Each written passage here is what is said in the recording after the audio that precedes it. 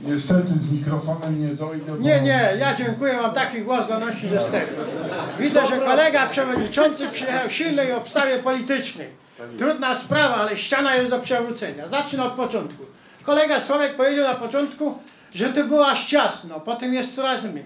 Moi drodzy Państwo, opadły w pewnym momencie skrzydełka, jak ptaszką, ale zbliża się wiosna, piórka świeże narastają i skrzydełka znów do góry będą. Także pofrunie. Ale chcę powiedzieć to, że ma y, Sojusz Lewicy Demokratycznej, to co kolega przewodniczący tu powiedział, tak solidnie i dokładnie, a pojadę po linii, to ma rację, bo Kaczyński zrobi wszystko, żeby platformy w przyszłości wyborów było tylko tyle, ile się schowa pod parasolką.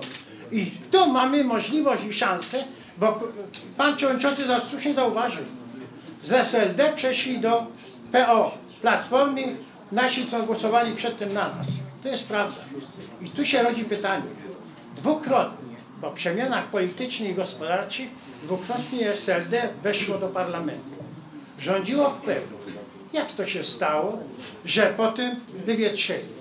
Czemu to, jak lewica weszła do rządzenia krajem, to zbierała wszystko do kubki. Na to szkoda... prosiłbym, żeby zmierzać do pytania. Dobrze, jak weszła prawica, rozdaje na prawo i na lewo. Nie martwi się o to, ile będziemy mieli długów w państwie, ile tego wszystkiego będziemy mieli. Wrócę jeszcze to, co kolega Sławek mi zwrócił uwagę, dziękuję za to. Ale powiem tak, pani była, wybrali na, po prostu na prezydenta, ten panią doktor Ogórek na prezydenta. Panowie, pan się tutaj wyspowiadał z tego, ale powiem tak, wy mężczyźni, toście tak widzieli, jakby to była królowa Marysieńka, boście zobaczyli nie wiem co. Tylko ja już nie chcę mówić czym była. W drugiej połowie XVI wieku była żoną Jana III Sobieskiego. Ona wiele zrobiła dla tego No kraju. dobrze, ale pytanie, tak? Pytanie. Dobrze, jest pierwsze pytanie. Zacznijmy od początku. Jak to się dzieje? Ile tym, w tym kraju, w Polsce rządzi do diabła tych ludzi? Po wojnie rządziło trzech ludzi. Bierut, Herman i Minc.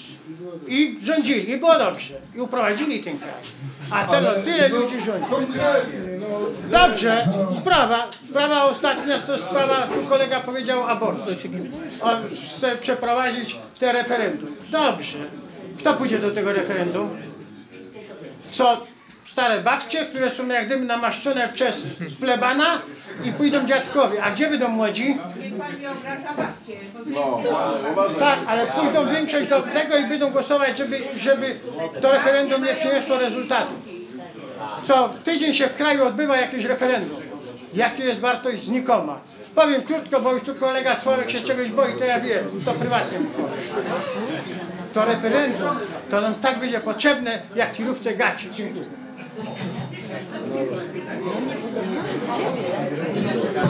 Nie za, nie za bardzo wiem, jak do pana się odnieść, żeby było miło, tak? No, Znaczy, Chciałem panu powiedzieć, że jeżeli chodzi o Bieruta, Binca, to nie są dobre czasy.